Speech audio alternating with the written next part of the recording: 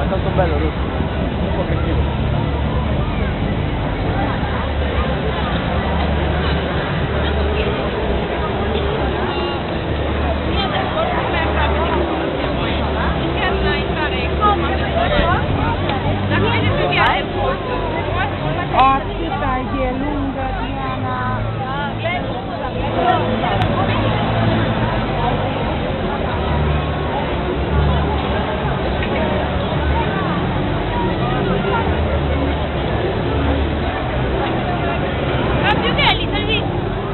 ma maison